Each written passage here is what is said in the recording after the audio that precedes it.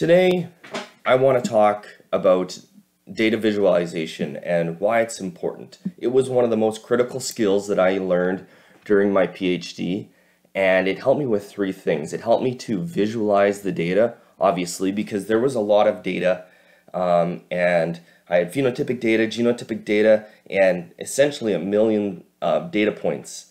So to make sense or just, just to let my human brain wrap around what this data was, it was very important. And then that allowed me to help, that helped me make decisions based on the data. So the data starts telling a story. What is going on here? How can I how can my brain, human brain wrap around it in order to make a decision based on the story that the data is telling me? And then the third thing was the the presentation of the data. So I could use it in in my publications, in my thesis, research posters and presentations. You got these very elegant, very cool looking figures that you can then use to put on your poster, put in your presentation that really say, wow, this is cool. Uh, the audience likes, loves it. It really draws it in as long as you don't make it too complicated, but it really helps you tell your story. So those are the three things. So let's get into it. What I want to talk about today is, is creating a heat map. So within my research, like I said, I had phenotypic and genotypic information, and I wanted to create a heat map to help tell a story of what my data was doing. So uh, similar to previous tutorials that I've done, I'm going to use my parallel, parallel per computing uh, stack here. This is basically just um, boilerplate code that I use in, in every tutorial wherever I go. Um, always kind of put stuff like this in the top, including dplyr, using that tidyverse functionality. Um, and then I'm going to bring in my genotypic data set. So I've previously done this and this takes a while to load because it's a large data set of SNPs. So I bring it in, I can look look at look a little bit at it here. I've already removed first couple of columns. So this is what this code does. It removes the name, some of the metadata that I don't need because when we're building the dendrogram, so the heat map is essentially two dendrograms, one for phenotypic data, one for genotypic data, and then and then the heat map below it, looking at the how the, the phenotypic data correlates uh, within the genotypic data. So this is my SNP data, and it, you need to make it look like this. So if you have SNP data close close to mine, you need essentially negative ones, zeros, and ones that you can plug in, and no other code or no other columns or data within that data frame. So SNPs are across the top, so that's the column driven and then the row driven are the different genotypes. So in my data, I had 292 genotypes. Then similar to my previous tutorial, which was building a dendrogram, we're going to build a dendrogram again. And to do that with my data, I'm going to use the NAM package and I'm going to use the GDist function. So look at the genetic distance within these SNPs, within these genotypes. Just using method one, I think that's NEI distance, N-E-I, so I'm going to run that, and I did that already. I'm not going to do it again because that may take a little bit of time. And then I'm going to create a dendrogram. So the, like I said earlier, the heat map is two dendrograms. Bring in the dendextend library, and I could create a dendrogram based on this gdist object that I previously created in wards D. And then I can plot it out, and let's see what we get here. So this is what the dendrogram looks like according to wards D. There's different uh, methods that you can use, but I usually use the wards D or the complete method. And then what I want to do is I want to make the branches a little bit thicker. I want to color the branches. So this is all similar to what I did on my last tutorial looking at dendrograms. You can see that in a link in the description. And so I made things a little bit thicker and I want to add that color. So because my dendrogram, I cut it into eight different clusters. So these 292 genotypes were cut into eight different clusters, uh, which I have here, and I want to color those branches, these eight different colors. And you can choose whatever colors you want for this. You can use a color palette, so it's more of a rainbow spectrum. I have these pre-selected so that I, I can fit them how I want them, but I mean, they're, they're yours to customize. So here we go. Everything's a little bit thicker. You've got the color there. looking at the different clusters and you can see that the line or the, the tree was cut right about there. And then I want to bring in my phenotypic data and there it is, bring in all data and my data is, I took it over three days so I split usually split it into three days. Today I'm just going to look at the day nine data and so I subset it into three days. Here we've got a lot of a lot of column headers so I can see some of the phenotypic data in this this area. That's what I'm going to be using today. So I could use it all, I could use a portion of it, and that's that's what I want to decide. So in this next step, what I have here is I want to select the phenotypic data to showcase in the heat map.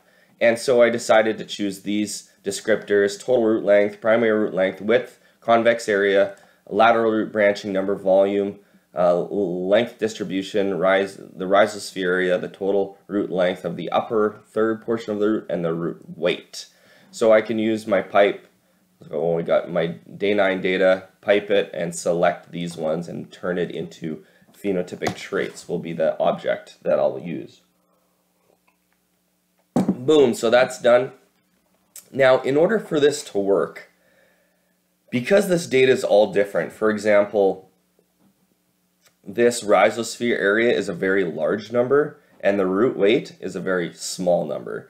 So if you put this on the same on the same figure with each other, one will blow the other one out of the water essentially. So it'll look at rhizosphere area and the root weight will all be the same just because it's not scaled. So next we're going to scale it.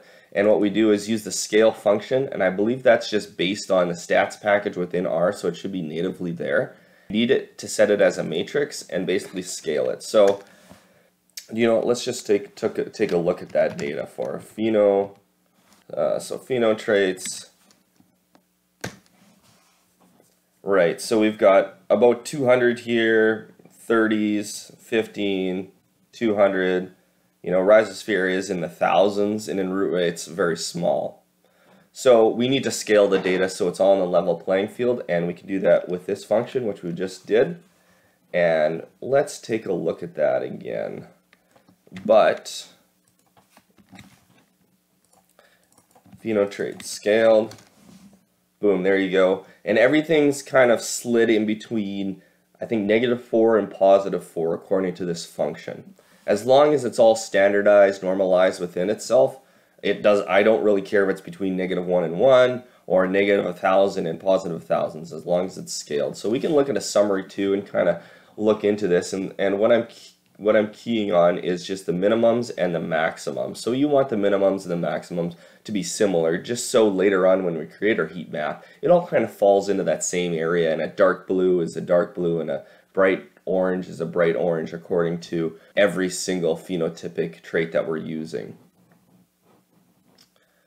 So we're done that. Next step is to calculate the phenotypic distance. So I'm going to do exactly very similar approach to what I have done previously, create a dendrogram using hierarchical clustering, looking at the distance between different traits. So it's going to go down every column, look at every different trait, and create a dendrogram accordingly. So similar to um, the genotypic data, we have a dendrogram created, and you can see here that width and convex area are very highly related. Total root length and rhizosphere area very highly related, but something like primary root length is not very related to the rest here. So there's definitely different clusterings that happen, and you can break these clusters into different groupings as, as well, and essentially just cut the tree wherever you want to cut it into eight. Uh, I'm not going to use eight groups because we only have maybe 10 here, so eight groups wouldn't really be really wouldn't, really wouldn't be helpful. So let's use um, maybe five. We'll use k equals five. Next step is we'll do something similar to before, making the branches a little bit thicker, creating colors. So I used five different colors for this. In the next set here, color branches, phenodend, k equals five, using the colors from that I specified here. Again, you can change and customize to how you see fit or use a color palette like a rainbow. Rainbow really comes alive when you have more numbers, so just having five, it probably doesn't make sense, but do what you want, and we can plot that out, and then here we go. Now we have five different colors, all set here according to the tree was cut approximately right here, I believe. So we've got five different clusters. Next thing we want to do is create the heat map. So we have the data. The color of your heat map um, is up to you again. I'm going to use the, the gplots library to use this color panel. This color panel is a cool function because it allows you to, to look at the low, medium, and high and select the range and then how many colors between between the low, medium, and high. So I have 292, which is way too much. 50 is more than enough. So there'll be 50 shades or 50 individual colors between orange, white, and blue, creating kind of a gradient with 50 colors in between. I think once you get past 20, um, you probably won't tell the difference. So we'll create that and implement that in our heat map function. So I'm using the heat heatmap.2 function. Select our data. So phenotypic data here, that's our X value. So that's that. The heat map's going to be based off the phenotypic data, not the genotypic data. The genotypic data only gives us the clustering that we're interested in. We're not actually interested in the numeric values of the zeros, uh, the, the ones, and the negative ones. And so on your row, uh, we want to use the, the genotypic dendrogram. For your column, we want to use the phenotypic dendrogram. And then for the colors, we want to use the specified blue-orange palette that I've created here, or you can change it to however you'd like. I find blue and orange is good. Look at a color wheel and you want to see um, blue is across from yellow or orange, so there's a lot of distinction between the two of them. You don't want to use an, a yellow and a red or a, a red and an orange because they're too similar and it won't really help you tell your story. Scale equals none, density info, info equals none, uh, trace none. You can set your margins how you like it. Again, this is just creating your figure itself. And if you want to change the, the row and the, and the column width, I believe that's there. And then your labels you can set and your main heading. So let's run it and let's see what our heat map looks like. There we go. Let me uh, zoom in. Let's pull this across. Uh, shrink it a little bit. So I like the blue and the orange because there's definitely contrast. You can see the darker blue um, are very high numbers is what I have set. The, the darker orange are very low numbers. And this really helps you tell a story. For example, this particular cluster here at the bottom, it's a smaller cluster and it, there's a lot of darker orange set in here. So that means that, hmm, there's something happening there. They're not performing very well. Whereas you see maybe this area, there's some darker blue. So you know that these genotypes, by and large, perform better. There's some darker blue up here as well. Uh, this one's pretty dark blue. There's some white in there, but you know, by and large, are good. And so this really helps you kind of sit down and, and say, okay, what's going on? What's the story that my data is trying to tell me? And here you have it. So if you want to switch it, let's try let's try switching the colors. Let's go to magenta as being the low and uh, green as being the high. So all you have to do is run that and run that and where there you go. You've got a much different, much different looking heat map. One thing that I was trying is trying to do a fiery heat map. So going yellow to orange to red. And I found that this, this didn't work very well. So, yeah.